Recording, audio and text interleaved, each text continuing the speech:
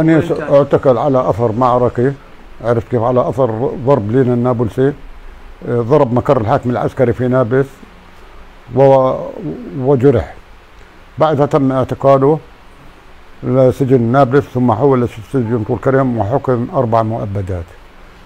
وراسلنا من خلال الصليب الأحمر من عدة سجون. وآخر فترة سجن عسكلان.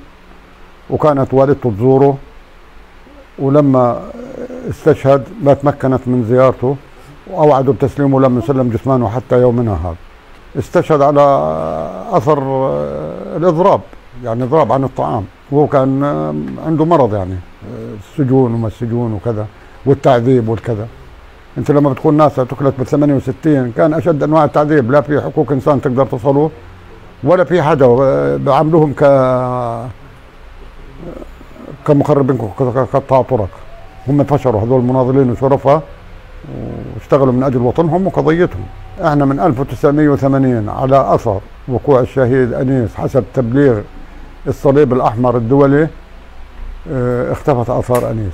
ولم نعرف عنه شيئا إلا من خلال التحذرات والتقولات. كافة مؤسسات اتدخلت من أجل هذا الملف حقوقية وإنسانية. لكن على ما يبدو أن الإسرائيليين كانوا يتاجروا بعضهم أو ارتكبوا جرائم بحقهم وما زالوا ربما ناس منهم في السجون. وإحنا بنطالب كل الجهات الرسمية والشعبية بطلب هذا الجثمان